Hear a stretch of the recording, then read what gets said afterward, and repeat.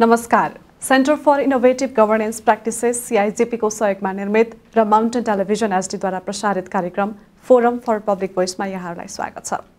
फोरममा हामी विशेष गरी समसामयिक विषयमा छलफल गर्ने गर्दछौँ। विज्ञहरूसँग बसेर त्यसको विषयमा गहिराइमा पुग्ने प्रयास गर्दछौँ भने आज पनि एउटा नयाँ विषयका साथमा तपाईँहरूमा आज उपस्थित भइसकेको छु। र आजको विषयवस्तु के कस्तो रहेको छ भनेर जानकारी गराउनका लागि हाम्रा कार्यक्रम संयोजक ज्यू जो चाहिँ पूर्व प्रमुख सूचना आयुक्त एवं नेपाल सरकारका पूर्व सचिव हुनुहुन्छ कृष्ण हरिवास कोटाजी उहाँलाई स्वागत गरौँ। सर स्वागत छ। धन्यवाद हाम्रो दर्शकहरूलाई आजको विषयवस्तुको बारेमा जानकारी गराइदिनुहोस् न। आज म नेपालमा विपद जोखिमको त्रास र न्यूनीकरण तथा व्यवस्थापनका पहलहरूका विषयमा केही आफ्ना अभिमतहरू अघि सार्ने अनुमति चाहन्छु। नेपालमा अनेक प्रकारका विपद जोखिमको त्रास विद्यमान रहेको छ।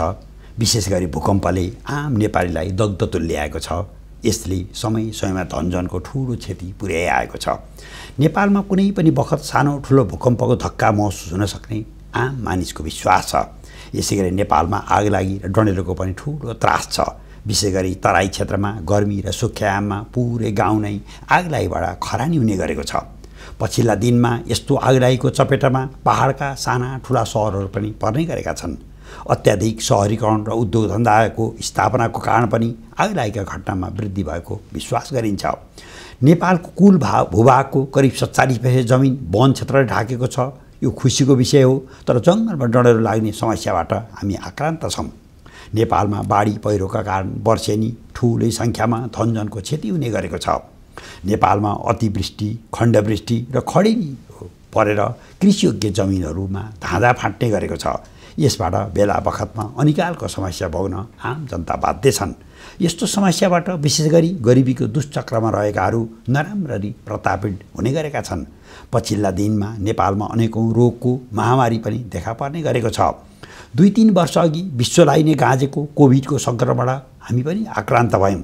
यसबाट नेपालमा करिब बाह्र हजार मानिसले अकालमै ज्यान गुमाउनु पर्यो। यसपछि डेङ्गुले हामीलाई निकै सताइरहेको छ निकै त्रास सृजना गरिरहेको छ। वर्तमान दिनहरूमा पशुमा लम्की स्किनको महामारी देखिएको छ।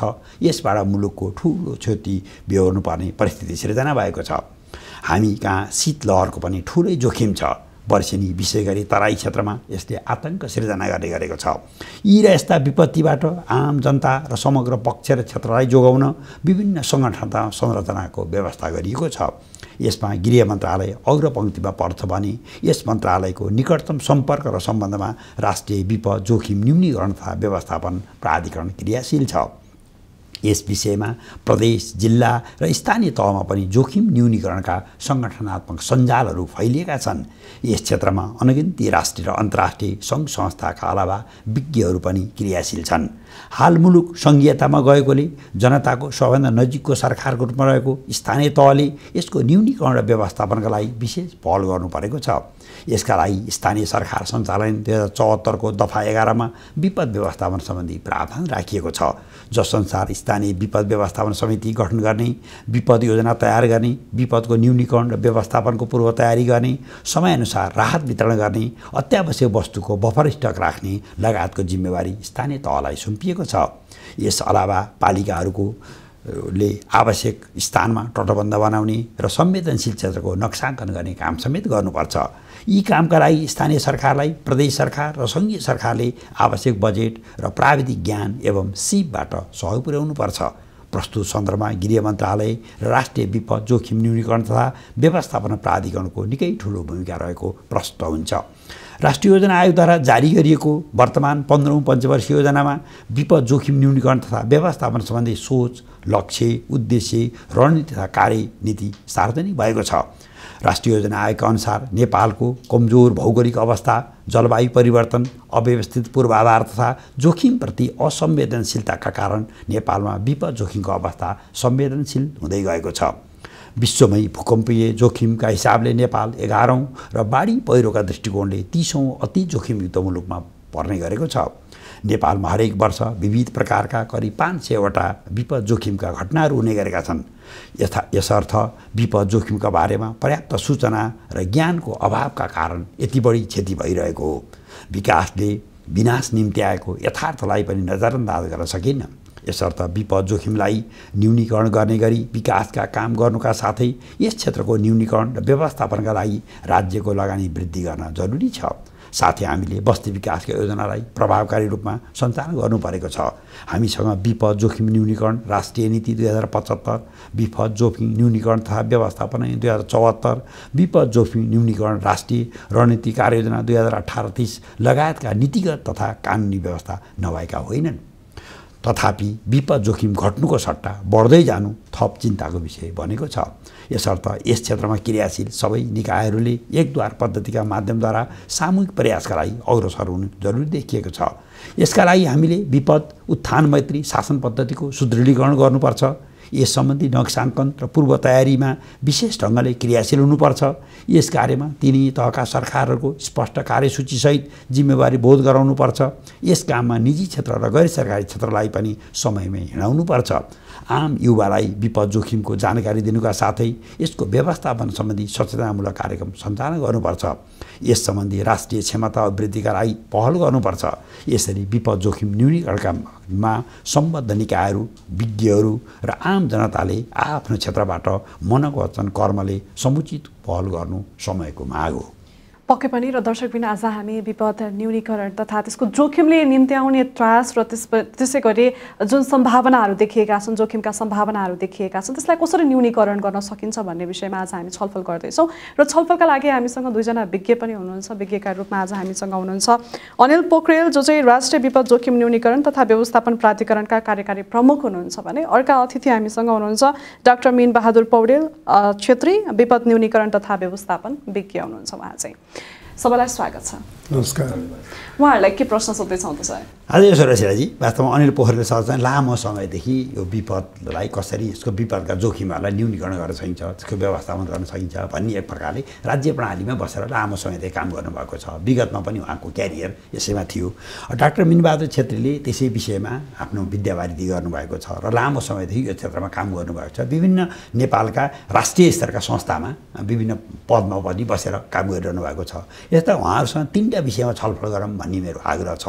पहिलो त नेपालमा के कस्तो प्रकारको विपद जोखिमको त्रासको सम्भावना छ? वास्तवमा हामीले चाहिँ हाम्रो अवस्थालाई कसरी चित्रित गर्न सक्छौँ? नेपाली जनतामा यसमा अवेर हुनुपर्ने विषयहरू के हुन्? भनेर पहिला पृष्ठभूमिमा जानकारी दिउँ दोस्रो चाहिँ नेपालमा सम्भावित जुन विपदका जोखिमहरू छन् यसको न्यूनीकरण गर्न यसको व्यवस्थापन गर्न राज्य प्रणालीबाट अथवा एनजिओ आइएनजिओबाट के कस्ता विधि प्रक्रिया अवलम्बन गर्ने गरेको छ के कस्ता संस्थाहरू छन् के त यी विधि प्रक्रिया संस्थाहरू पर्याप्त छन् या छैनन् यसैमा विश्लेषण गरौँ। र अन्त्यमा चाहिँ उहाँहरू दुवैजना यस विषयको विज्ञ भए हुनाले वास्तवमा नेपालमा जुन विपद जोखिमलाई न्यूनीकरण गर्न पर्दा उहाँहरूको रचनात्मक सुझावहरू के होला वे फरवार्ड के हुनसक्छ भन्ने विषय यी तिनवटा बुँदामा छलफल गरौँ भन्ने मेरो आग्रह छ। पक्कै पनि म डाक्टर मिनबहादुर सरबाट सुरु गर्न चाहन्छु। अब समग्रमा भन्नुपर्दा नेपालमा धेरै विपदका जोखिमहरू हामीले देखिँदै आएका छौँ भोग्दै आएको अवस्था पनि छ भनिसकेपछि चाहिँ। यसको त्रास र सम्भावना अझै के देख्नुहुन्छ यहाँले? नेपालको सन्दर्भमा कुरा गर्नु पर्दाखेरि विगत विपद जोखिमको त्रास र सम्भावना के के रहेका छन्? अब विपद जोखिमको त्रास त बढ्दो रूपमा छ। मानवीय कारणले पनि प्राकृतिक कारणले पनि किनभने अब विपदको जोखिमको न्यूनीकरण रोकथामको लागि पर्याप्त प्रयास हुन सकेको छैन। किन हुन सकेको छैन भन्दाखेरि अब कानुनी रूपमा त व्यवस्था छ संस्थाहरू पनि खडा भएका छन्। तर काम किन हुन सकेको छैन भन्दाखेरि साधन स्रोत बजेट जनशक्तिको अभाव कमीले पनि हो। र अब नेपालमा त सबभन्दा ठुलो विपदको जोखिम भनेको त भुइँचालो नै हो अर्थक्वेक होइन। जुन अब बहत्तर सालमा आयो अब त्यो बेलामा दसौँ हजार मान्छेको मृत्यु पनि भयो। अझ विज्ञहरूले जियोलोजिस्टहरूले के भन्छन् भनेदेखि यो त ट्रेलर मात्रै हो। मुख्य भुइँ भुइँचालो त आउन बाँकी नै छ कुनै पनि बेला आउन सक्छ। त्यो आयो भने त व्यापक क्षति हुन्छ त्योभन्दा भयावह हुन्छ। भन्दा पनि पाठ नसिकेर जुन नयाँ भवन संरचनाहरू भौतिक संरचनाहरू इभन अब सरकारी पनि भनौँ न पुल पुलिसहरू यस्ताहरू पनि विपद जोखिम न्यूनीकरण भनौँ न अर्थक्वेक रेसिस्टेन्ट भनौँ न भूकम्प प्रतिरोधी बन्न नसकेको अवस्था छ। त्यसमा स्थानीय सरकारको पनि कमजोरी छ नियमन गर्ने निकायहरू पालिकाहरू विभिन्न पालिकाहरूको। त्यस्तै अब बाढी पहिरो हुरी बतास आग लागि चट्याङ महामारी भयो र अब ज जनावर आतङ्क पनि छ। अब नेपालमा ज्वालामुखी र समुद्री आँधी तुफान बाहेक सबै किसिमका जोखिम भेटिन्छन् होइन? त्यसमध्येमा अब एक नम्बरमा भूकम्प पनि हुन्छ। त्यसपछि चाहिँ अब आगलागी बाढी पहिरो हुरी बतास चट्याङले पनि कैयौँ मान्छेहरू मर्छन्। अब चट्याङलाई रोक्न अत्यन्तै गाह्रो छ। त्यसमा केही उपायहरू अवलम्बन गर्न सकिन्छ। तर अब त्यसलाई टोटल्ली रोक्न चाहिँ सकिँदैन। त्यहाँ त्यो किसिमको जोखिममा छौँ र अब नयाँ जोखिम के निस्क्यो भनेदेखि खास गरेर सहरी इलाकामा काठमाडौँ उपत्यका जस्तोमा काठमाडौँका सबै सहर भनौँ अब काठमाडौँ मात्रै नभएर ललितपुर भक्तपुर लगायत डुबान। अब यसमा प्राकृतिक भन्दा पनि मानवीय कारण गम्भीर देखियो। किनभने अब भौतिक संरचनाहरू बनेका बनेका छन् बाटो बनेको छ पुल पुलिसाहरू बनेका छन् अनि खाली ठाउँको अभाव छ। घरहरूले भरियो र जुन खुला ठाउँहरू छन् त्यहाँ पनि सरकारले व्यवस्थित गर्न सकेन र पानी जमिनमुनि जान सोच्न सकेन। त्यसले गर्दाखेरि के भनेदेखि पानी माथि माथि भयो पानी जाने ठाउँ त चाहियो पानी पानीलाई रोक्न त सकिँदैन।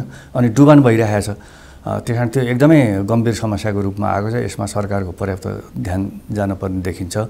र अब अरू के भनेदेखि अब उहाँ कार्यकारी प्रमुखज्यूले भन्नु नै हुनेछ। विपद व्यवस्थापन जुन हाम्रो प्राधिकरण खडा भएको छ अब त्यो ढिलो गरी खडा भयो अब र आवश्यक थियो र अझै पनि आवश्यक छ। तर के भने उहाँलाई जति जनशक्ति चाहिने हो साधन स्रोत चाहिने हो बजेट चाहिने हो त्यो सरकारले उपलब्ध गराउन सकेको छैन। किनभने बाहिर विज्ञहरूले अथवा अरू यो विपदको क्षेत्रमा जानकार व्यक्तिहरूले जुन किसिमको प्राधिकरणको अपेक्षा गरेका थिए त्यो हुन सकेन। मूल कारण त के भन्दै अहिले मैले दोहोऱ्याएर भन्छु उहाँलाई आवश्यक जनशक्ति पनि छैन बजेट पनि छैन अब त्यो कुरो उहाँले पनि इन्डोर्स गर्नुहोला। र अर्को के भनेदेखि उहाँको जुन काम गर्नको लागि चाहिने निकायहरू भनौँ क्षेत्रमा जिल्लामा विभिन्न खास गरेर अब त्यो जोखिमयुक्त ठाउँहरूमा उहाँको ह्यान्ड्स हुनु पऱ्यो उहाँको शाखा प्रशाखाहरू पऱ्यो कार्यालयहरू पऱ्यो केन्द्रमा बसेर त खास केही गर्न सकिन्न मोनिटरिङ मात्रै गर्ने हो होइन? केही भयो भने अब दौडेर जानलाई त टाइम लाग्छ होइन? त्यहाँ चाहिँ क्षेत्र जिल्लाहरूमा र जोखिम खास गरेर जोखिमयुक्त ठाउँहरूमा उहाँको संरचना हुनुपर्छ प्राधिकरणको। यदि प्राधिकरणलाई विपद जोखिमको सम्पूर्ण चक्रको होइन? पूर्व तयारी अनि रेस्पोन्सको अनि रिहेबिलिटेसन रिकन्स्ट्रक्सन सबैको यदि उहाँलाई जिम्मेवारी दिने भनेदेखि त्यही अनुसारको क्षमता अभिवृद्धि गरिदिनु पऱ्यो अनि मात्रै हुन्छ। नत्र भनेदेखि त अब कानुनले मात्रै बलियो बनाएर पद मात्रै ठुलो बनाएर हुँदैन साधन स्रोत भएन भने त्यो एउटा समस्या देखाएको छु मैले। अब फेरि के भनेदेखि अब त्यो उहाँ यसमा सहमत हुनुहुन्छ कि हुनुहुन्न अब त्यो उहाँको कुरा मलाई मैले बाहिरबाट हेर्दाखेरि के देखिरहेको छु भने गृह मन्त्रालय छ होइन? अब पहिले अब गृह मन्त्रालयकै जिम्मामा थियो यो विपद व्यवस्थापनको सम्पूर्ण चक्रको जिम्मेवारी उसले लिन्थ्यो लिएको थियो होइन? भन्नाले अघि मैले भनेको पूर्व तयारी अनि रेस्पोन्सको अब रिहेबिलिटेसन रिकन्स्ट्रक्सन सबैको। अब गृहका अरू ठुलो ठुल्ठुला धेरै जिम्मेवारीहरू छन्। गृह मन्त्रालयले सबै हेर्न भ्याउन पाउँदैन र त्यो किसिमका जनशक्तिहरू त्यहाँ छैनन् पनि प्रशासनिक निकाय हो त्यो। त्यसले गर्दाखेरि यसलाई छुट्टै निकाय चाहिन्छ। विभाग अथवा कुनै अब केन्द्र अथवा प्राधिकरण नै भनौँ अथवा छुट्टै मन्त्रालय नै भनौँ आयोग नै भनौँ केही चाहिन्छ। अब हामीले त अझै के भनेको भनेदेखि यो एउटा संवैधानिक कन्स्टिट्युसनल बडी हुनुपर्छ संवैधानिक निकाय हुनुपर्छ। निर्वाचन आयोग भने जस्तै लोकसेवा आयोग भनेको थियो अख्तियार भनेको थियो ताकि यसले सबैलाई आदेश दिन सकोस् होइन? सबैले उसको आदेशको पालना गर्न सकुन् र यो उच्च स्तरको हुनु पऱ्यो भन्ने भनेकोमा प्राधिकरणमा ल्याएर टुङ्गाइदियो। प्राधिकरण भए पनि अब विद्युत प्राधिकरण जस्तो ठुलो र त्यत्तिकै टोटल्ली स्वायत्त भएको भए त हुन्थ्यो तर त्यो हुन सकेन होइन? उहाँ प्राधिकरणको प्रमुख हुनुहुन्छ तर किन उहाँका लिमिटेसन्सहरू छन्? अघि मैले भनेको बजेटको जनशक्तिको लगायतको र अब जिल्ला जिल्लामा क्षेत्र क्षेत्रमा उहाँका कार्यालयहरू पनि छैनन्। त्यहाँ उहाँ जति सक्षम भए पनि जति योग्य भए पनि उहाँको हात बाँधिएको हुने भयो। होइन? त्यसले गर्दाखेरि र अर्को अब एउटा म उदाहरण दिन्छु कि अनि त्यहाँ इओसी भन्ने छ इमर्जेन्सी अपरेसन सेन्टर होइन? त्यो त्यति हाइली सोफिस्टिकेटेड त थिएन। तर के भनेदेखि अब गृह मन्त्रालय अहिले त्यसमा अर्कै शाखा कार्यालय के राखिदियो होइन सर? त्यो त्यो गर्यो जबकि एउटा यस्तो किसिमको सोफिस्टिकेटेड इमर्जेन्सी अपरेसन सेन्टर चाहिँ त्यो उहाँको मातहतमा छ कि? कानुनले उहाँलाई जिम्मा दिएको छ उहाँको मातहतमा उहाँको कार्यालयको मातहतमा हुने भनेको छ। अब त्यसलाई झन् अपग्रेड गर्नुपर्नेमा डाउनग्रेड गरिदियो। र अब के भनेदेखि त्यो रियल टाइम बेसिसमा हुनुपर्छ कि इमर्जेन्सी अपरेसन सेन्टर भनेको जति कि ठुलो हलमा अब विभिन्न ठुल्ठुला अब मोनिटरहरू स्क्रिनहरू टिभी स्क्रिनहरू राखेर उ गरेर कहाँ के भएको छ होइन? हुन त त्यसको लागि फेरि अब त्यो अलिकति यो धेरै कम्प्लिकेटेड कुरो किनभने हाम्रो आफ्नै सेटेलाइट छैन त्यसले गर्दाखेरि कहाँ आग लागि भएको छ कहाँ बाढी जाँदैछ कहाँ पहिरो जाँदैछ कहाँ के दुर्घटना के भएको छ भन्ने कुरो त्यो हेर्न चाहिँ अब हाम्रो आफ्नै सेटेलाइट भए सकिन्थ्यो नत्र अब त्यो अलिकति गाह्रो हुन्छ। त्यही पनि त्यस्तो किसिमको हो इमर्जेन्सी अपरेसन सेन्टर भनेको एक त त्यस्तो थिएन। त्यही पनि त्यो पनि अब गृह मन्त्रालयले अन्य प्रयोजनमा प्रयोजन त विपद व्यवस्थापनकै हो तर के भने उहाँ उहाँलाई त्यसमा सक्षम सबल उहाँको कार्यालयलाई बनाउनु पर्नेमा त्यो नबनाएको देखिन्छ। यसले अब के समग्रमा म संस्थाको कुरामा प्रभावकारी किन भएन भन्ने कुरामा म फेरि पनि आउनेछु अहिले म सरतर्फ लाग्न चाहन्छु। सरले चाहिँ के के त्रास देख्नु भएको छ? त्रासहरू त फैलि नै रहेको छ होइन सम्भावना अझै यो यसलाई न्यूनीकरण गरेन भने चाहिँ अझै यो कुराहरू आउने सम्भावना चाहिँ छ भन्ने कुराहरू के के देख्नु भएको छ? धन्यवाद। कृष्णरी सरले कस्तो राम्रोसँगले नेपालका समष्टिगत सबै खालका विपदका जोखिमहरूको बारेमा सरले भनिसक्नु सक्नु भएको छ। कोभिडदेखि लिएर चट्याङदेखि लिएर डाक्टर मिनबहादुर सरले पनि सबै स्पष्ट पारिदिनु भयो। मैले त्यसमा के मात्र थप्न चाहेँ भने हामीहरूलाई बाढी पहिरो चट्याङ जस्तो चाहिँ पहिलेदेखि थाहा भइरहेको खालका विपदहरू भयो। तर अब अहिलेको केही वर्षहरूदेखि हामीले हेर्ने भने नथाहा पाएका विपदहरू पनि जस्तो कोभिड नै भयो डेङ्गी हामीलाई थाहा थिएन। होइन यी यस्ता खालका विपदहरू पनि नयाँ खालका विपदहरू आउन थाले। हामीले सलह हामीले भोग्यौँ होइन। त्यस्तो खालका विपदहरू चाहिँ हाम्रो लागि त्यो अकल्पनीय पनि छन्। मेलाम्ची जस्तो बाढी जुन आयो बाढी पहिरो हामीहरूको ठुलो खानेपानी काठमाडौँ लिएर आउने खानेपानीलाई क्षणभरमै त्यसले सका झन्डै पुरिदियो। यो त्यो चिजहरू चाहिँ हामीहरूले हाम्रो परिकल्पनाभन्दा बाहिर थियो। भूकम्प जस्तो चाहिँ हामीले सोचिरहेको भइरहेको त्यसको लागि तयारी गरिरहेको। तर यस्ता खालका क्लाइमेट चेन्ज जन्य र यस्ता खालका रोग ब्याध जन्य त्यस्ता खालका विपदहरूले चाहिँ हामीहरूको इकोनोमी पनि उथलपुथल धेरै ठुलो उथलपुथल लिएर आउँदो रहेछ। भूकम्प लिएर आएको भन्दा पनि कोभिड लिएर आएको इकोनोमिक डिस्टर्बेन्सेसहरू चाहिँ म्यासिभ थियो। टुरिज्महरू थुप्रै त्यसले प्रभाव पार्यो। त्यसको प्रभाव अहिलेसम्म पनि स्वास्थ्यमा थुप्रैहरू छ। यस यसरी हेर्ने भने केही थाहा पाएको र केही नथाहा पाएका विपदहरू पनि हामीले सामना गर्नुपर्ने अवस्था छ। डाक्टर साहबले भन्नुभएको जस्तो बढ्दो छ यो फेरि होइन? अब केही वर्ष यता हेर्ने हो भने हामीहरूको बाढीको चाहिँ हामीहरूको एकदमै राम्रो सक्सेस इक्जाम्पल्सहरू छ। हामीले सालाखाला अस्सी सयजना जस्तो हामीले गुमाउँथ्यौँ भने बाढीबाट भएको मानवीय क्षतिहरू चाहिँ स्वाट्टै घटेको छ। चालिस पचासतिर आएर गएर स्थिर जस्तो भएको छ। यो केही वर्षलाई हेर्ने हो भने एकाध वर्षलाई यसलाई एक्सेप्सन मान्ने हो भने। तर पहिरोको चाहिँ विपद चाहिँ पहिरोबाट हुने जुन मानवीय क्षति र जुन हामीहरूको इन्फ्रास्ट्रक्चरहरूमा त्यसमा हुने क्षति चाहिँ एकदमै आकाशित छ। अघि डाक्टर साहबले भन्नुभएको जस्तै एकदमै त्यो अनियन्त्रित तरिकाको बस्तीहरूको विस्तारहरू हुँदै जाने हामीलाई हाम्रो लापरवाही होइन? र त्यसमाथि धेर थोर धेर बहुत चाहिँ हाम्रो क्लाइमेट चेन्जले गर्दाखेरि अनएक्सपेक्टेड खालका ह्याजर्ड्सहरू जुन आउँछन् त्यसले गर्दाखेरि हामीहरूको जोखिम उच्च छ। र बढ्दो पनि छ। त्यो दुइटैलाई सामना गर्नलाई हामीहरूलाई अहिले भएको साधन स्रोत जनशक्तिहरू चाहिँ अपर्याप्त छ भनेर जुन डाक्टर साहबले भन्नुभएको त्यसमा म पनि म पनि सहमत छु। पक्कै पनि एकदमै राम्रोसँग भन्नुभयो दुवैजनाले सरको विचार के छ? यसो हो रसिलाजी वास्तवमा दुवैजना विज्ञहरूले भनेअनुसार नेपालमा भूकम्पको जोखिम छ बाढी पहिरोको जोखिम छ वास्तवमा खोला नाला तल तलैया धेरै छन् त्यसमा डुबानको समस्या मान्छे डुबेर पनि मर्न सक्ने समस्या छन्। भनौँ न यस्ता जुन दैवी विपत्ति भन्छौँ एक प्रकारले मोटामोटी त्यो कुरामा ठिकै हो अनिल पोखरेल सरले भन्नुभएको छ हामी धेरैजना विज्ञ छौँ जानकारीयुक्त छ। वास्तवमा अब नयाँ नयाँ किसिमका जोखिममा हामीले धेरै सम्भावनालाई आङ्कलनै गरेका छैनौँ। अहिले एक प्रकारले तरकारीमा जुन किसिमको हामीले रासायनिक मल हालिरहेछौँ जुन किसिमको रासायनिक विषादीहरू हालिरहेछौँ त्यसबाट मानव शरीरलाई कुन हदसम्म जोखिम कहिले निस्किन्छ कति मान्छेहरू क्यान्सरका रोगी हुन सक्छन् त्यस्ता कुराको आङ्कलन हामीले कम गरेका छौँ। एक प्रकारले पहिला पहिला सोभियत रुस लगायतका केही मुलुकहरूलाई अत्याधिक मदिरा सेवन गर्ने मुलुकको पङ्क्तिमा राखिन्थ्यो। अब त्यस्तो मुलुकमा नेपाल पर्न बेर छैन।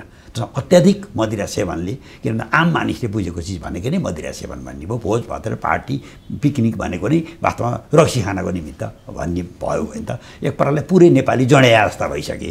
यसबाट के असर पर्ला भन्ने कुराको अहिले सजिलै आङ्कलन गर्न सकिँदैन। हामीले वास्तवमा खाइआएको चिजै होइन। यो पानपरा गुड्खा सुर्ती यो कहाँबाट आयो थाहा छैन। अब अहिले उस्तै पऱ्यो भने त नखाने मान्छे फेला नपार्ला जस्तो हुन आँट्यो। त्यसको असर हामीलाई कहाँसम्म पर्छ? हामीले त्यसमा केही जानकारी नै लिएका छैनौँ। अब त बिस्तारै थाहा नपाउने गरी अब प्लास्टिकका सामानहरू नै हामीले खान थाल्यौँ भन्ने पनि एक थरी मान्छेको भनाइ छ। अब त्यो कुरो हामी के खाँदैछौँ? त्यो कुरो हामीलाई जानकारी छैन। खास गरी मेडिकल साइन्समा जुन हामीले इक्विपमेन्टहरू ल्याइरहेछौँ जुन चिजहरू त्यसको डिस्पोजै गर्न सकिँदैन। वास्तवमा फोहोरहरू हेऱ्यो भने कुहिने फोहोर नकुहिने फोहोर भन्ने त हामीलाई शब्दावली जानकारी छ। तर अस्पतालबाट निस्किने औषधिजन्य फोहोरको बारेमा हामी धेरैलाई कमलाई जानकारी छ। त्यसलाई विसर्जन कसरी गर्न सकिन्छ? त्यसबाट आम जनतामा कस्ता कस्ता चाहिँ हैजा लगायतका रोगहरू फैलिन सक्छन्? त्यसको बारेमा हामीलाई धेरै कमलाई जानकारी छ। एक प्रकारले यो एकदम थाहा नपाउने गरी अहिले हामीले मोबाइल यसरी सञ्चालन गरिरहेछौँ यो सामाजिक सञ्जाल लगायतका चिज यसरी सञ्चालन गरिरहेछौँ यसले चाहिँ आउन सक्ने चाहिँ विपदको जोखिम हामी धेरैले अनुमानै गर्न सकेका छैनौँ। यो त एकैपल्ट नै राज्य प्रणाली त पन्ध्र मिनटमा नै सत्ता उलटपलट हुन सक्छ। त्यस किसिमले आइरहेछ अहिले हामीले यसो हेऱ्यो भने जातीय सद्भाव भड्काउन केही मान्छेहरूले चाहिँ जुन एउटा केही सामाजिक सञ्जालमा आफ्ना कुराहरू हालिरहेछन् यसले नै ठुलो विपद चाहिँ को जोखिमको सम्भावना बढाइरहेको छ। यसरी हामीले हेऱ्यौँ भनेदेखि चाहिँ नेपालमा हामीले विश्वव्यापी विश्वमा कसरी विश्व विकास भइरहेछ त्यसबाट नेपालभित्र चाहिँ प्रवेश गर्न सक्ने चाहिँ विपद जोखिमहरू के के होला भएर हेर्न पर्छ। अब सडक दुर्घटनाको अवस्था पनि त्यस्तै भयावह हुँदै गएको अवस्था छ। हामीले ठुल्ठुलो हाइड्रो प्रोजेक्टहरू बनाएको छौँ। अब हामीले अन्डरग्राउन्ड केबलिङहरू गरिरहेछौँ त्यसको भोलिको जोखिम अवस्था के हो? हामीले त्यसलाई राम्रोसँग विचार गर्न सकेका छैनौँ। त्यही भएर जुन कुराको हामीले विकास गरिरहेछौँ अब हामीले चाहिँ एलपी ग्यास ल्याइरहेछौँ त्यो सिलिन्डर हामीले कसरी त्यसलाई विसर्जन गर्न सक्छौँ? अहिले हामीले चाहिँ नि ब्याट्रीबाट चाहिँ चल्ने विभिन्न इन्भर्टर लगाएर चलाइरहेको छौँ त्यो ब्याट्रीको विसर्जन कसरी हुन्छ? कार्बन त्यसबाट उत्पादन हुने चाहिँ जुन चिजहरू छन् त्यो त्यो त एक प्रकारले कहाँ लगेर राखिन्छ हामीले जुन प्लास्टिकका सामानहरू प्रयोग गरिरहेका छौँ प्लास्टिकका झोला नै त्यो प्लास्टिकको झोलाले पछि हाम्रो माटोको कुन अवस्थामा माटोलाई पुर्याइदिन्छ केही वर्षपछि। यस्ता चाहिँ नि विपद जोखिमहरू चाहिँ अकल्पनीय रूपमा चाहिँ मुलुकभित्र आउँदैछ। यसमा चाहिँ विज्ञहरूले चाहिँ समयमा नै यसको आङ्कलन गरेर न्यूनीकरणका प्रयासतर्फ चाहिँ जानुपर्ने मैले चाहिँ अनुभव गरेको छु। एकदमै राम्रो विचार राख्नुभयो। म अनिल सरतर्फ आउन चाहन्छु। अघि डाक्टर साहबले धेरै कुरा भन्नु भइसक्यो। संस्थाहरू स्थापना भएका छन्। त्यहाँ कर्मचारी पुग्दैन बजेटको अभाव छ भन्ने कुराहरू आयो। अहिले हेर्ने हो भने एनजिओ एन आइएनजिओहरू लगायतै धेरै संस्थाहरू स्थापना भएका छन्। यो जोखिम न्यूनीकरण गर्नको लागि भनेर होइन? तर उनीहरूको प्रभावकारिता के देख्नुहुन्छ? त्यतिले पर्याप्त छ या छैन? के गर्नुपर्ने जस्तो देख्नुहुन्छ? थुप्रै सङ्घ संस्थाहरू छन्। त्यसको एपेक्स बडीको रूपमा। प्राधिकरण स्थापना भएको छ। यसको शिर भनेकै हामीहरूको अध्यक्ष हामीहरूको सामान्य प्रधानमन्त्रीज्यू हुनु हो। सबै मन्त्रीज्यूहरू सबै मुख्यमन्त्रीज्यूहरू यसको सदस्य हुनुहुन्छ। त्यसको ठिक मुनि हाम्रो गृहमन्त्रीज्यूकोले अध्यक्षता गर्नुभएको कार्यकारी समिति छ। त्यसमा रेड क्रस जस्तो सङ्घ संस्थाहरू प्राइभेट सेक्टरहरू पनि त्यसमा आबद्ध छन्। तर म यो अहिले यो गएको साढे तिन वर्षलाई फर्केर हेर्दाखेरि हामीहरूले थुप्रै सङ्घ संस्थाहरूसँग हामीले काम गर्न पायौँ। हामीलाई केहीले हामीसँग डिरेक्टली सँगै बसेर पनि काम पनि गरिरहनु भएको छ। केही धेरै अझै त्यो ब्राकेटभन्दा बाहिर पनि हुनुहुन्छ। तर मैले के पाएँ भने एकदमै अनरेगुलेटेड तरिकाबाट त्यो तरिकाबाट जान चेष्टा राख्ने खालको अर्गनाइजेसन्सहरू थुप्रै छन्। र त्यो चेष्टा पनि हामीहरूले यदि जोखिम न्यूनीकरणमा पनि अनि त्यस पछाडि जोखिमका अरू आयामहरू जस्तो अर्ली वार्निङहरू भयो बिमा जस्ता व्यवस्थाहरू भए जोखिम आकलन जस्ता चिजहरूमा हामीले गर्न सक्यौँ। क्लाइमेट चेन्जलाई र विपद जोखिमलाई कसरी गर्ने भन्ने कुरामा त्यसमा लाग्दाखेरि त ठिकै हुन्छ। तर सबै जसोको र जानेको आफूले जे मात्र जानेको भन्दामा मात्र दौडिने खालको चेष्टा हुन्छ। त्यो चेष्टा चाहिँ मुख्य गरी विपदको घटना घटिसके पछाडिको राहत र उद्धारमा मात्र क्राउडिङ छ त्यो भिडभाड छ अनि अनरेगुलेटेड छ। तर अरू जोखिम न्यूनीकरणमा अर्ली वार्निङ सिस्टममा बिमा जस्ता कुराहरूमा चाहिँ एकदमै हातमा गौन गर्न सक्ने मिल्ने खालका संस्था संस्थाहरू मात्र छन्। हामीहरूको चुनौती भनेको उहाँहरूलाई पनि यो बारेमा सिकाउने र बिस्तारै विपद जोखिम न्यूनीकरणका चारैवटा प्राथमिकतामा जोखिमको आकलन गर्ने न्यूनीकरण गर्ने यसको शासकीय व्यवस्थाहरू नीतिगत व्यवस्थाहरू पुनर्निर्माण गर्नुपर्ने बाढी पहिरोबाट त्यत्रो घरहरूदेखि लिएर थुप्रै संरचनाहरू क्षति भएका हुन्छन्। त्यसको पुनर्निर्माण पनि उहाँहरूको शक्ति उहाँहरूको स्रोत साधन प्रयोग गर्न सकिन्छ। यो कुरामा सबैमा उहाँहरूलाई लिएर आउने एउटा चुनौती चाहिँ हामीहरूको लागि थपिएको छ।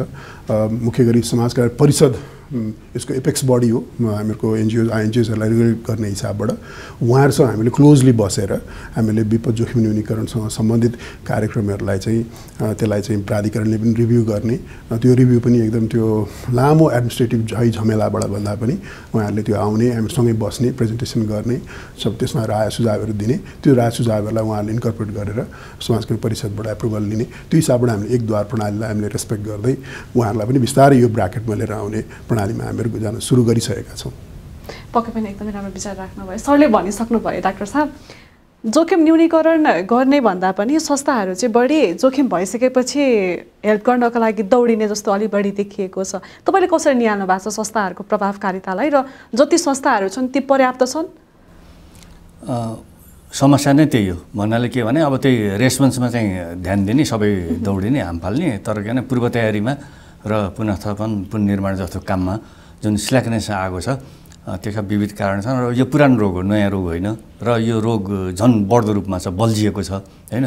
अब यी स्वदेशी विदेशी एनजिओ आइएनजिओहरूको त कस्तो भने म एउटा शब्दावली प्रयोग गर्न चाहन्छु। अब अङ्ग्रेजीमा राइ राइडरलेस हर्स भनिन्छ होइन? सवार नभएको घोडा जस्तो जता मन उतै दौडिने। अब उनीहरूलाई बाँध्ने बलियो ऐनियम कानुनको नि अभाव छ होइन। हुँदै नभएको त होइन तर के भन्छ भएको पनि उनीहरूले मिचेर हिँडिरहेको अवस्था छ। यो सबै के भने ठुल्ठुलो आइएनजिओहरू पनि यसमा पर्छन् होइन। नाम लिन जरुरी छैन। अब पैसा बजेट चाहिँ प्रशस्त आएको छ खरबौँ आएको छ होइन। र त्यो वास्तवमा कति आयो भने ठ्याक्कै सरकारलाई पनि थाहा हुँदैन। किनभने उनीहरूले अपारदर्शी ढङ्गले काम गरिरहेका खर्च गरिरहेका हुन्छन्। अलिअलि थाहा हुन्छ पूर्णतया थाहा हुन्न। होइन अनि म मलाई त्यस्तो लाग्छ। अब त्यसले गर्दाखेरि उनीहरूले सजिलो काम गर्ने सजिलो ठाउँ खोज्ने अनि मन लागेको काम गर्ने गर्नलाई अब विपद जोखिम न्यूनीकरणमै काम गर्ने हो भन्छन् गर्छन् पनि। तर त्यही हो मतलब किन रिपोर्टहरू लेख्ने कुरोमा कन्सल्टेन्सीको कुरोहरूमा अथवा कुनै चाहिँ जोखिमयुक्त ठाउँको चाहिँ नक्साङ्कन गर्ने भने ऊ गएर त्यस्तै अब काम चाहिँ अलिअलि गर्ने तर के भने खासै त्यो जोखिमलाई घटाउने किसिमको काममा पर्याप्त काम भएको ध्यान दिएको देखिँदैन। र धेरै जसोको त अझ उनीहरूको नीति नै के हुन्छ भनेदेखि चाहिँ फिजिकल इन्फ्रास्ट्रक्चरमा होइन भौतिक संरचनामा चाहिँ खर्च नगर्ने भन्ने हुन्छ। नगर्ने भन्ने बित्तिकै त के भयो? उयो रिपोर्ट लेख्ने उ गर्ने कन्सल्टेन्सी गर्ने खाने भन्ने त्यस्तो मात्रै हुने भयो। र अब नेपाललाई फाइदा मैले देखेको एउटै मात्रै एक नम्बर फाइदा यो एनजिओ आइएनजिओबाट के भने केही रोजगारी सिर्जना भएको छ होइन? अब हाम्रा दाजुभाइ दिदीबहिनीहरूले जागिर पाउनुभएको छ त्यसलाई पोजिटिभ उसमा ल्याउँ। अलिअलि काम पनि भएको छ। रिपोर्ट नचाहिने होइन? तर किन हामीलाई चाहिने भन्दा धेरै भइसक्यो। एउटै जिल्लामा त्यो विपद जोखिम न्यूनीकरण योजना भन्यो। चार पाँच थरीले चार पाँच थरीका उस्तै उस्तै रिपोर्टहरू बनाएर राखेका हुन्छन् र फेरि ती कार्यान्वयन पनि हुँदैनन्। होइन त्यो खासै अब विपद भइसकेको हुन्छ। अब त्यो रिपोर्ट अनुसारको त्यो योजना अनुसारको कामहरू पनि नभएको पाइएको पनि छ। र अब इमान्दारी साथ भन्न पर्दाखेरि के भने नेपालमा विपदको उसमा जतिसुकै अन्तर्राष्ट्रिय उसले सङ्घ संस्थाहरूले गफ गरे पनि काम गर्ने भनेको सरकारी निकायले नै हो। केही भयो भनेदेखि जाने अब प्राधिकरण नै हो गृह मन्त्रालय नै हो आर्मी हो पुलिस हो सशस्त्र प्रहरी हो रेड क्रस जान्छ अलिअलि होइन? नत्र अरू अरू जान्छन् पछि पछि लागेर कुनै कुनै ठाउँमा तर के भनेदेखि अब सरकारी निकाय भएन भने केही पनि हुन सक्दैन होइन? त्यो जहाँ पनि हो। तर अब अघि पनि मैले भने हाम्रो मूल समस्या भनेको होइन हाम्रो रियाक्टिभ एप्रोच हो कि? जब विपद हुन्छ अनि त्यसपछि भागदौड गर्ने दौडिने गएर दाल चामल चिउरा भाँडाकुँडा बाँड्ने त्यतिमै सीमित भयो। हुँदै नभएको त होइन पूर्व तयारीका कामहरू पनि भएका छन्। तर जुन हाम्रो चाहिँ अब पूर्व चेतावनी प्रणालीको विकास हुनुपर्ने हो अर्ली वार्निङ सिस्टम त्यो पर्याप्त मात्रामा हुन सकेको छैन शान्ति नै भइरहेको छ। जति कि हाम्रो त्यहाँ जल तथा मौसम विज्ञान विभाग छ त्यसलाई अझ भरपर्दो बनाउन आवश्यक छ होइन? ताकि उसले समयमै खबर गरोस् मान्छे सतर्क हुन सकुन् भौतिक मानवीय क्षतिलाई न्यूनीकरण गर्न सकोस्। अघि मैले इओसीको कुरो गरेँ उहाँको त्यो इमर्जेन्सी अपरेसन सेन्टर वास्तवमा त्यसमा अरबौँ खर्च गरेर त्यो त लाइभ स्ट्रिमिङ हुने किसिमको चाहिँ इमर्जेन्सी अपरेसन सेन्टर चाहिन्छ। त्यो जुन अहिले भइरहेको छ त्यसबाट चाहिँ काम हुँदैन। सामान्य तथ्याङ्क सङ्कलन गर्ने अब डेटा डिसेमिनेसन गर्नेमा हुन्छ होइन? तर कहाँ के भइरहेको छ र त्यसलाई कसरी तत्कालै रोकथाम गर्ने जोखिमलाई न्यूनीकरण गर्ने भन्नेमा चाहिँ त्यस्तो किसिमको हामीसित छैन। नाम मात्रैको छ। र अब अघि बाँसवाडा सरले भन्नुभयो सडक दुर्घटना वास्तवमा एकदमै नम्बर वानै हो त्यो होइन मृत्युको हिसाबले हेर्दाखेरि हरेक दिन जस्तो ठाउँ ठाउँमा हामीले घटना दुर्घटना भएको पाउँछौँ। अब भएका सडकहरू स्तरीय छैनन् होइन? अब हाइवेकै हालत हेरौँ होइन? काठमाडौँ पोखराकै अब अहिले भद्रगोल बनाइरहेका छन्। अब कति टाइम लाग्ने हो बनाउन त्यसै अब डोजर आतङ्क भन्ने अर्को एउटा जार्गन त निस्किसकेको छ ठाउँ ठाउँमा। पालिकाहरूले जस्तो एउटा मात्रै घर भएको दुईवटा मात्रै घर भएको ठाउँमा पनि बाटो खन्तिएर उ गरेर वातावरणै अब बाढी पहिरोको एउटा मूल कारण मध्येमा त्यो पनि पर्छ होइन? यी सबै कारणले गर्दाखेरि मैले सुरुमै पनि भनेका थिएँ भनेको थिएँ अब जोखिम चाहिँ बढ्दो छ। न्यूनीकरणका प्रयासहरू चाहिँ मान ऊ जनशक्ति र अब हाम्रो बजेटको कारणले गर्दाखेरि सीमितता हुँदै गएको छ। अब कानुनी रूपमा चाहिँ बलियो देखिया छ प्राधिकरण। अघि मैले भने तर किन उहाँलाई चाहियो नि त त्यो काम गर्नलाई। साधन स्रोत ह्यान्ड्सहरू चाहियो शाखा प्रशाखाहरू कार्यालयहरू चाहियो। त्यो नभएको कारणले गर्दाखेरि अब त्यो किताब उयो किताबको भन्टा खानुहुन्न भने जस्तै त्यस्तै मात्रै भयो। देखावटी भयो तर किन व्यवहारमा लागु हुन सकेन। त्यस कारण अब यसलाई यो जोखिम न्यूनीकरण गर्नलाई के गर्नु पऱ्यो त भन्दाखेरि अब वेफरबाटको कुरो पछि गर्ने कि अहिले गरौँ? अहिले म सुझावमा फेरि नै आउनेछु ए ल? हुन्छ हस्। सरले कसरी विचार गर्नुभयो कुरालाई? यस्तो? मलाई के लागिरहेछ भने हाम्रो अनिल पोखरेल सर हाम्रो डाक्टर मिनबहादुर छेत्री यो विषयमा लामो समय काम गर्नुभएको उहाँहरू विज्ञ हुनुहुन्छ। अब सम्मानीय प्रधानमन्त्री मुलुकका गृहमन्त्री लगायतका ठुला राजनेतालाई प्रश्न पहिला छ्याङ्ग के बुझ्नुपर्छ भने मुलुक सङ्घीयतामा गयो। अब गृहमन्त्रीले नेपालभरिको विपद जोखिम न्यूनीकरण व्यवस्थापन गर्न उहाँले संवैधानिक रूपमा त्यो हैसियत राख्नुहुन्न। पहिला यसरी छाङ्ग हुनु पऱ्यो अब सङ्घीय सरकारले के गर्न सक्छ? नेपालभरिको चाहिँ एउटा अध्ययन गरेर एउटा चाहिँ मास्टर प्लान बनाएर म्यापिङ गर्न सक्छ। त्यो म्यापिङमा चाहिँ नि अब चाहिँ कुन कुन संस्था आइएनजिओ अन्तर्राष्ट्रिय संस्था अथवा राष्ट्रिय स्तरका संस्थाहरू जसले दुई प्रदेशभन्दा बढीमा काम गर्छन् भने त्यसले प्राधिकरणमा अनिल पोखरेलसँग सहकार्य गर्न सक्छन्। जुन संस्थाले कम्तीमा पनि सयभन्दा बढी पालिकामा आफ्नो प्रभाव क्षेत्रमा काम गर्न सक्छन् भने त्यो चाहिँ प्राधिकरणसँग मिलेर काम गर्न सक्छन्। अन्यथा यही प्राधिकरणको अर्को रूप प्रत्येक प्रत्येक प्रदेशमा चाहिन्छ। प्रदेशभित्रकै कुनै किसिमको विपद जोखिम न्यूनीकरण व्यवस्थापन गर्न परिन्छ भने त्यो सङ्घ सरकारले गर्न सक्दैन। त्यसको निमित्त जुन साधन स्रोत छ त्यो गृहमन्त्री जस्तै प्रदेशमा पनि रहेका चाहिँ जुन आन्तरिक मामला मन्त्री हुन्छन् त्यो तिनलाई हस्तान्तरण गर्नुपर्छ केन्द्रकै गृहमन्त्रीले नै सबै राज्य शासन गर्ने भए त हामीलाई सङ्घीयता चाहिँ छैन। हामी एकात्मक शासन प्रणालीमा फर्के भइहाल्यो नि। त्यो ने सङ्घका सिंहदरबारका गृहमन्त्रीले जुन खर्च गर्ने आउनुभएको छ त्यो सातवटा प्रदेशमा प्रदेश स्तरको म्यापिङ गरिएको छ भने त्यसको स्रोत प्रदेशमै जानुपर्छ प्रदेशमा त्यही किसिमको सञ्जाल बन्छ। र प्रदेशलाई पनि स्थानीयतामा शासन गर्ने संवैधानिक अधिकार छैन। तर स्थानीय तहकै मानव सानो खोल्चो छ। स्थानीय तहकै सानो बाढी बाढी पहिरो जोखिम विपद छ होइन त? त्यही अब एकभन्दा बढी पालिकामा प्रभावित हुन्छ भने त त्यो प्रदेश आकर्षित भइहाल्यो। दुईभन्दा बढी प्रदेशमा त्यो विपदको जोखिम छ भनेदेखि त स्वत प्राधिकरण आकर्षित भयो। यसरी पहिला सङ्गठनता संरचनामा हाम्रा साधन स्रोत छुट्याउनुपर्छ।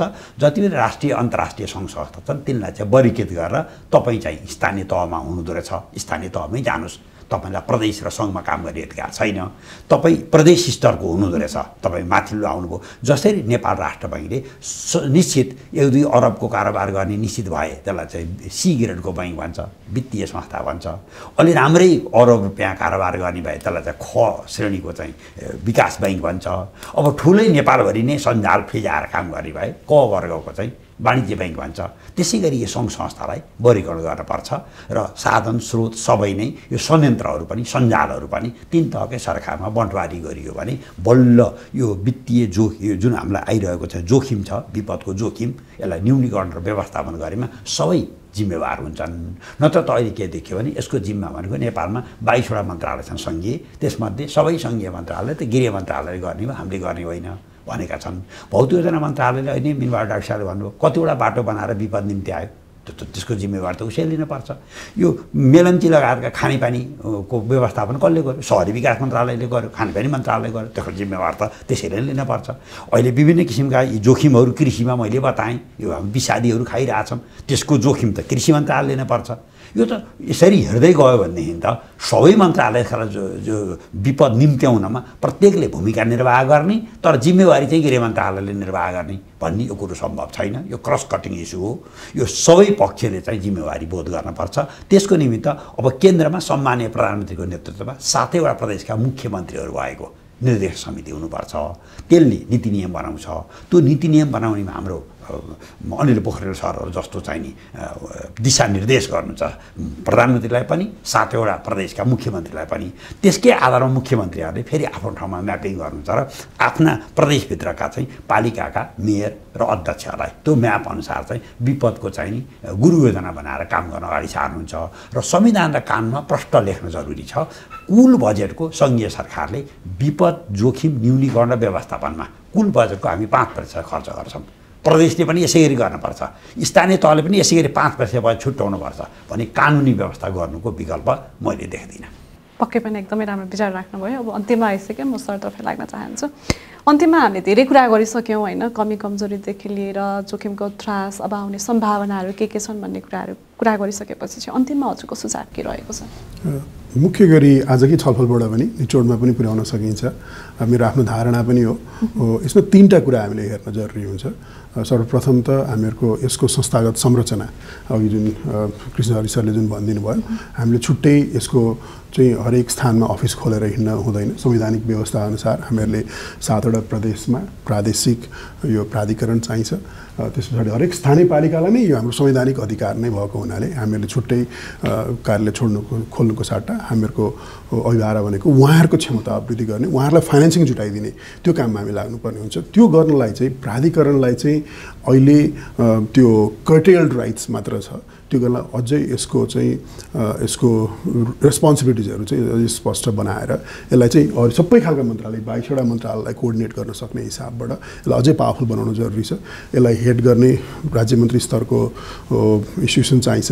यसको प्रशासनिक संयन्त्र यसलाई सचिव प्रशासनिक सचिवले यसलाई हेड गर्नुपर्ने हुन्छ भने यसको लागि चाहिँ एउटा लिन एन्ड थिन प्रशासनिक संयन्त्र चाहिन्छ र मुख्य गरी हामीले जुन खालका विपदहरू छन् त्यो विपद र हाम्रो प्लानिङमा डेभलपमेन्टको इन्फ्रास्ट्रक्चरहरूमा इन्टिग्रेट गर्न सक्ने खालका त्यसको एक्सपर्ट्सहरूको चाहिँ बाहुल्यता भएको संस्था हुनुपर्छ number one number two financing हो। हामीले भूकम्पको प्राधिकरण हेरौँ अथवा अहिलेको हामीहरूको जुन इन्भेस्टमेन्ट बोर्ड छ होइन त्यो लिएर आउन सक्ने पोसिबिलिटी हुँदैन डिजास्टर रिस्कमा त्यसै गरी एनआरएले गर्दाखेरि पर्फर्मेन्समा हेर्दाखेरि ल फाइनेन्सिङ यसको आर्थिक स्रोत एकदमै ठुलो महत्त्वपूर्ण हुन जान्छ।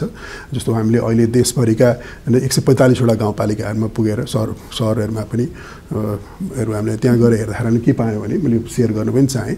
हामीले हामीहरूको पाँच प्रतिशत पनि हामीहरूको स्कुल निजी र सरकारी अनि त्यस स्वास्थ्य चौकी स्वास्थ्य स्वास्थ्यका संस्था संस्थाहरू सरकारी हामी नेपाल सरकारकै कर्मचारीहरू बस्ने भवनहरू पाँच प्रतिशत पनि हामीहरूको भूकम्प जोखिम अथवा बाढी पहिरो र चट्याङ यी चारवटा चिजलाई हेर्दाखेरि पाँच प्रतिशत पनि सुरक्षित छैनन्।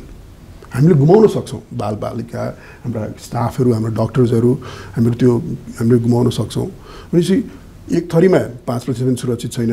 पाँच प्रतिशत त अहिले बनाएको ठाउँहरूलाई तत्काल सार्नुपर्छ। त्यो ठाउँ नै उपयुक्त ठाउँमा गलत ठाउँमा बनाएको रहेछौँ। त्यसको बाँकी रहेको आधालाई हेर्ने भने त्यसको आधा चाहिँ पुरै भत्कारै बनाउनुपर्छ। सुरक्षित छैन। बाँकीको आधालाई चाहिँ चालिस पर्सेन्ट जस्तो पच्चिस तिस पर्सेन्ट जस्तो चाहिँ प्रबलीकरण अथवा रेट्रोफिटिङ गर्नुपर्ने हुन्छ। हामीले हरेक पालिकाको लागि हामीले फाइनेन्सिङ निकालेका छौँ। होइन कति बच्चाहरू बच्छन् कतिवटा हाम्रो कर्मचारीहरू बचाउन सक्छौँ भन्ने कुरा। र यसले यो समग्रमै हामीहरूले देशभरिकै ऐना हो यो चिज। अब यो चिज गर्नलाई त हामीले पालिकामा पैसा पठाउनु पऱ्यो त्यसको लागि साधन स्रोत चाहियो। यो चाहिँ financing is number two number three भनेको चाहिँ जस्तो प्राधिकरणमा गृह मन्त्रालयको कर्मचारी त छैनन्। यो विपद विद्युत प्राधिकरणमा। त्यो प्राधिकरणमा पनि सबै प्राधिकरणमा अथवा सिभिल एभिएसनमा पनि गएर गृह मन्त्रालयको कर्मचारी मात्र हाबी भयो प्रशासन मात्र भयो भने त्यो प्राधिकरण प्लेन उड्छ उड्दैन नि होइन? हामीहरूको विपदको आगलागी निभाउनु होस् अथवा चट्याङ होस् अथवा लम्पी डिजिज लम्पी डिजिजमा मन्त्रीजीले नै सकारिसक्नु भएको छ। हामीले केही पनि गर्न सकेनौँ होइन? त्यो गर्नको लागि संयन्त्र त चाहियो होइन? त्यो गर्नलाई हामीहरूलाई यसकै यसकै स्ट्रिममा काम गर्ने हामीहरूको स्टाफिङहरू चाहिन्छ। त्यो स्टाफिङहरू चाहिँ हामीले प्राधिकरणमा सेन्ट्रल लेभलमा फेडरल इन्स्टिट्युसनमा चाहियो। डढेलो यत्रो आक्रान्त भएको छ। नेपालमा एकजना पनि पदनाम डडेलो विज्ञ भन्ने अहिलेसम्म पनि छन्। डडेलो अफिसर अथवा हामीहरूको डडेलो हेर्ने उपसचिव भनेर कतै पनि छैन नि। बरु सिभिल इन्जिनियर अथवा खानेपानीको इन्जिनियर भन्ने छ। एउटा पनि डडेलोको एक्सपर्ट छैन। भनेपछि त्यो एक्सपर्टिज हामीको पद नामै चाहिन्छ र त्यो चिज राखेर हामीले इस्युसलाइज गऱ्यो भने त्यसको स्टाफिङ नम्बर टू यसको फाइनेन्सियल र यसको इन्स्टिट्युसनल एरेन्जमेन्ट र हामीले हरेक हाम्रो संवैधानिक व्यवस्था अनुसार अघि जुन कृष्ण सरले भन्नुभयो त्यसरी प्रदेशलाई बलियो बनाउने अनि पालिकालाई बलियो बनाउने जिल्लाले जोखिम न्यूनीकरणको अरू कामहरू गर्ने होइन त्यसलाई रेस्पोन्समा त्यसलाई कोर्डिनेसन गर्ने फङ्सनको रूपबाट मात्र हेरेर मुख्य गरी यो तिनवटा तहमा जाने हिसाबबाट र यसलाई हाई पावर्ड इन्स्टिट्युसनको रूपबाट अरू देशमा पनि अनुभवहरू पनि हेरौँ होइन? अरू देशको भन्दा जोखिम हाम्रो बढी छ भनेपछि झन् हामीले बढी एक्स्ट्रा माइल रन गर्नुपर्ने हुन्छ। अहिलेको जस्तो जुन एडमिनिस्ट्रेटिभ प्रोसिजियरमा होइन जब प्रशासनिक संयन्त्रबाट कृष्ण सरले लेख्ने पनि गर्नुहुन्छ यसको रेड टेपिङहरू अथवा यसको एडिसनल प्रोसिजरहरू यसले इलिमिनेट गर्दै जानुपर्ने हुन्छ फास्ट ट्र्याकमा जानुपर्छ।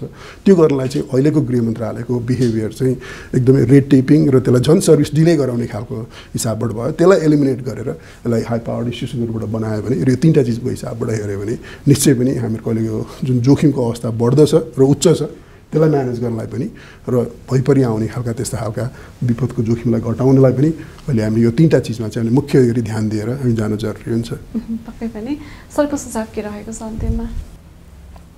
अब अनिल सरले भनेकोमा म त्यसलाई रिइन्फोर्स गर्न चाहन्छु। अब सबभन्दा पहिले त के भने अब कानुनमै व्यवस्था भएको हुनाले र प्राधिकरण चाहिन्छ भनेरै खडा गरिएको हुनाले यसलाई बलियो बनाउनुको विकल्प त छैन।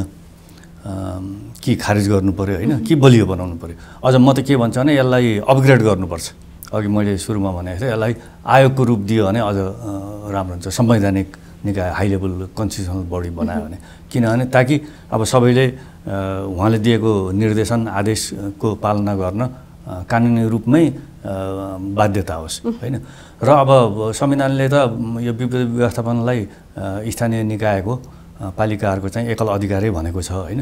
तर उहाँहरूको समस्या के छ भनेदेखि त्यहाँ विज्ञ मान्छेहरू छैनन् उहाँहरूकोलाई पनि पर्याप्त त्यसको लागि चाहिँ साधन स्रोत बजेट ह्युमन रिसोर्स छैन। किनभने अब जियोलिस्ट चाहिएला डक्टर चाहिएला इन्जिनियर चाहिएला अब जति अब राहत वितरणको लागि वेयर हाउस बनाउनु पर्ने होला ती लगायतका धेरै कुराहरू आउँछन् होइन।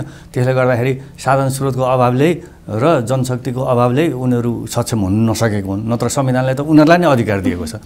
र अब अहिलेको स्थितिमा के म के देख्छु भनेदेखि हामीले विपदलाई तिन किसिमले हेर्नुपर्छ। यसलाई ति तिन क्याटेगोरी तिन तिन भागमा बाँड्नुपर्छ होइन? जति कि अब level one level two level three भने कि अब जति कि सानतिनो घटना दुर्घटनाहरू चाहिँ त्यो स्थानीय निकायले हेर्ने त्यसपछि अब प्रदेश लगायतले जिल्लाले हेर्ने अनि त्यसपछि तेस्रो तहको लेभल थ्रीको ठुल्ठुलो त्यही बत्तर सालको भुइँचालो जस्तो हुन त्यो मात्रै अनि सङ्घले हेर्ने भन्ने र त्यही किसिमका काम कारबाहीहरू साधन स्रोतहरू बजेटहरूको व्यवस्था हुनु पऱ्यो र उहाँलाई एकदमै बलियो बनाए पनि केन्द्रबाटै सबै ठाउँमा पुग्न त सक्नुहुन्न। कि सबै ठाउँमा उहाँका शाखा प्रशाखाहरू कार्यालयहरू हुनु पऱ्यो होइन? र त्यो किसिमको चाहिँ कम्युनिकेसनको मेकानिजम पनि हुनु पऱ्यो होइन? त्यसले गर्दाखेरि अब अहिले त के भने डिभाइडेड रेस्पोन्सिबिलिटी छ कि अब रेस्पोन्सको काम चाहिँ अब गृह मन्त्रालयले गरिरहेको छ सिडिओहरू मार्फत। पुरातन किसिममै छ क्या अहिले।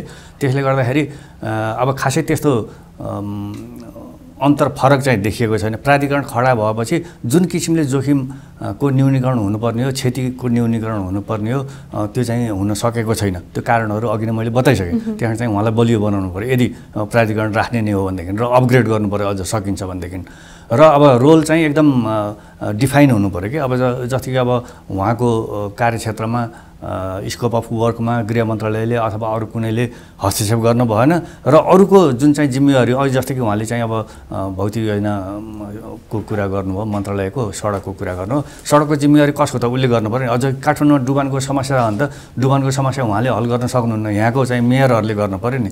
तर के भने उहाँ उहाँसित सम्पर्क समन्वय गरेर होइन उहाँले आइडिया दिनुहुन्छ त्यो अनुसार गर्नु पऱ्यो र त्यसले गर्दाखेरि अब यो बाथामा अघि उहाँले भनेको थियो क्रस कटिङ इस्यु हो। र यो के भने धेरै निकायहरू विभाग मन्त्रालयहरू कार्यालयहरू अब यो इएनजी आइएनजीहरू पनि रेड क्रस पनि भनौँ न सबै मिलेर गर्नुपर्ने विषय भएको हुनाले र यो ठुलो व्यापक विषय भएको हुनाले सबै सबैले एकाकार भएर होइन सबैले एकदम क्लोज कोअपरेसन र कोअर्डिनेसन कोलाबोरेसनमा काम गर्नुपर्ने विषय हो यो होइन। जतिसुकै सक्षम व्यक्ति अथवा संस्था भए पनि एक्लै दुक्लै गर्न सक्ने यो होइन। र अब व्यवस्था त अब प्रधानमन्त्री ज्यूकै अध्यक्षतामै छ होइन हाम्रो समिति एउटा।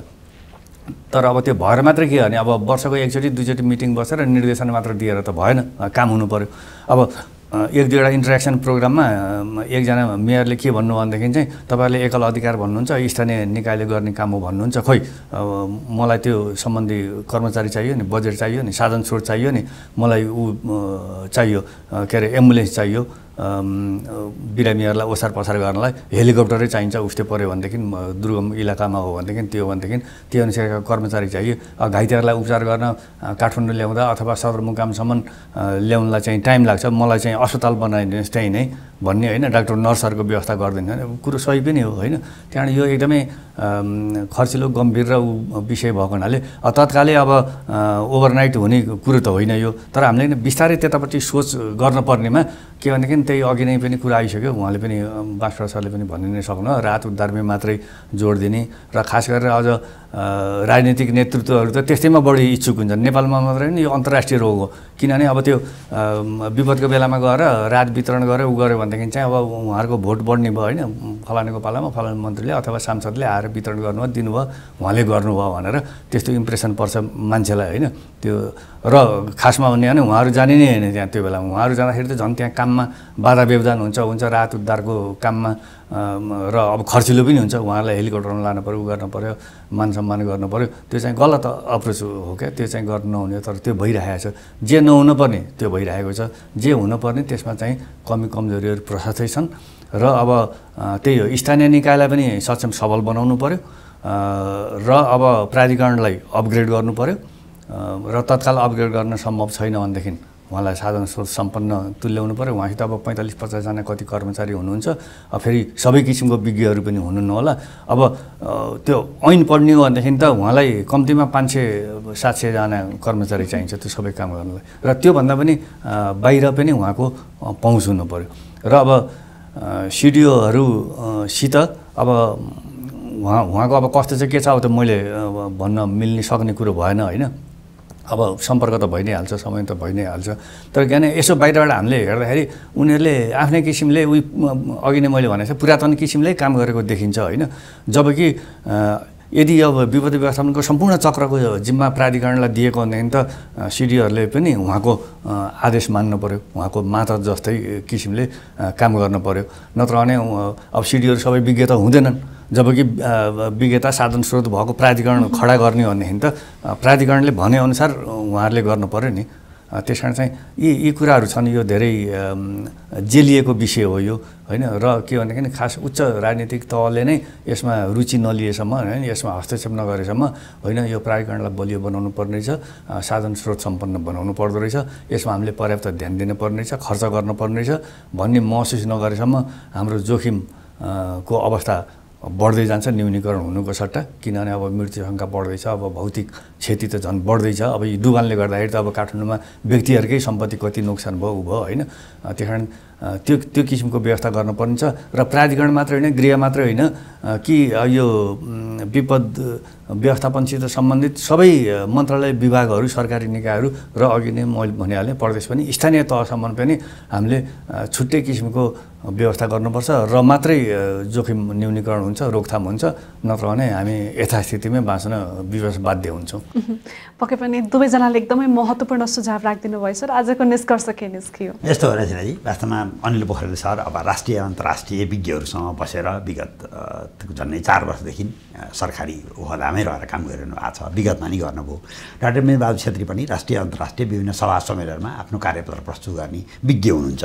तर उहाँहरूले चाहिँ पहिलो प्रश्न चाहिँ हाम्रो नेपालमा यो विपद जोखिमको सम्भावना के के छ भनिएको थियो परम्परागत रूपमा देखेको दैविक विपत्तिहरू भूकम्प जाने अथवा डढेलो लाग्ने अथवा बाढी पहिरो जाने चट्याङ पर्ने यी कुरा त हामी सबैले जानेका थियौँ। वास्तवमा नयाँ नयाँ कुरा आयो। अहिले राजनीतिले पनि एकपाललाई बन्द गरिदिने होइन आफ्नो पहिचानको युद्ध हुने जातीय सद्भावहरू भड्किन सक्ने यस्ता चिज आयो। अब थाहा नपाउने गरी सडक बन्यौँ सडक दुर्घटनाहरू अब अत्याधिक बढेर आए। नयाँ नयाँ रोग विश्वव्यापी रूपमा आउने भयो कोभिड लगायतको डेङ्गु लगायतको आउने भयो यस्तो समस्या देखिन थाल्यो। एक प्रकारले अहिले हामीले अनुमानै गर्न नसकेका नयाँ नयाँ किसिमका अब हामीले भवन बनाएका छौँ त्यो भवन नै आफैमा जोखिमयुक्त छ। होइन त? एक प्रकारले अब कहिलेकाहीँ सलहको समस्या आइदिने जुन कुराको हामीले एक्सपेक्टै गरेको हुँदैनौँ। अब ठुल्ठुला संरचनाहरू मेलम्ची लगायत जस्तोको चाहिँ बाँधहरू नै फुटिदिने होइन? एक प्रकारले कोभिडले अर्थतन्त्रमा पुर्याएको क्षति मेरो जरा कुनै भुइँचालोले पुर्याएको क्षतिभन्दा त्यसको दोबर तेबर भन्दा बढी आङ्कलन गर्न सकिन्छ। अनियन्त्रित रूपमा बस्ती विकास हुँदाखेरि त्यसबाट आउने विपत्तिहरू अनेक छन्। यसरी चाहिँ हामीले प्रत्येक क्षेत्रलाई राम्रोसँग मनन गरेर जोखिमका क्षेत्रहरू पहिचान गरेर त्यसमा चाहिँ नि निदानात्मक उपायतर्फ जानुपर्छ भन्ने नै पहिलो बुँदामा हामीलाई जानकारी आयो। दोस्रो बुँदामा चाहिँ नेपालमा भएका सङ्घ संस्था कानुन विधि के छ पर्याप्त अपर्याप्त के छ भनेर छलफल गरेका थियौँ। मोटामोटी एक प्रकारले हाम्रो नेपालमा राम्रै विधि प्रक्रिया संरचना सबै नै छ भन्ने विषयमा हामीले छलफल गऱ्यौँ। तर पनि अब एउटा कुरो चाहिँ के हो भने अलिकति नियमन गर्न अलिकति कठिनाइ भइरहेछ। अहिले पनि अर्थ मन्त्रालय भनेअनुसार करिब करिब छत्तिस प्रतिशत दाताहरूको बजेट चाहिँ अफ बजेट छ।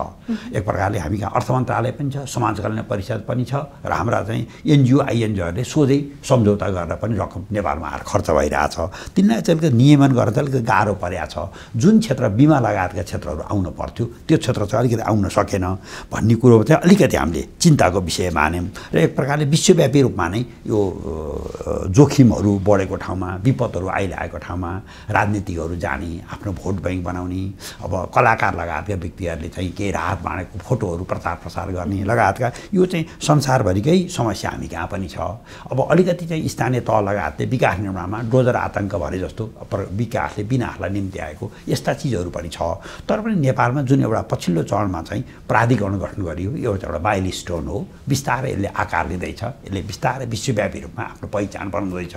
यसले बिस्तारै थाहा नपाउने गरी सतहत्तरै जिल्लामा प्रमुख जिल्ला अधिकारीमा आफ्नो पहुँच पुर्याउने मात्रै होइन। सातवटा प्रदेश र सात सय त्रिपन्न पालिकालाई पनि यसले थाहा नपाउने गरी दिशानिर्देश गर्दैछ। सिडिओ कार्यालयमा रहेका दैवी विपद शाखा र सात सय त्रिपन्नवटा पालिकाले जुन म्यापिङ बनाउँछन् दैवी विपदको चाहिँ योजना त्यो चाहिँ कतै न कतै प्राधिकरणसँग चाहिँ सामञ्जस्य उनीहरूले कायम गर्न थालेका छन्। यो एउटा सुखद पक्ष छ भनी छलफल गऱ्यौँ।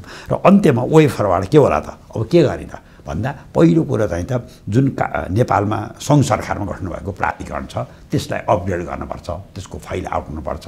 त्यसले कम्तीमा पाँच वर्षमा एकपटक अन्तर्राष्ट्रिय स्तरको सम्मेलन गरेर एक प्रकार नेपालमा विपदका जोखिमहरू के छन् त्यसलाई न्यूनीकरण नेपालले के गर्यो अन्तर्राष्ट्रिय जगतको सहयोग हामीलाई कसरी चाहिएको छ हाम्रो चाहिँ राष्ट्रिय पुनर्निर्माण प्राधिकरणले आफ्नो करिब तिन वर्ष पाँच वर्ष काम सम्पन्न गरेपछि उसले अन्तर्राष्ट्रिय सम्मेलन गरेको थियो दाताहरूको सहयोग लिएको थियो। त्यो प्रक्रियामा यो जानै पर्छ।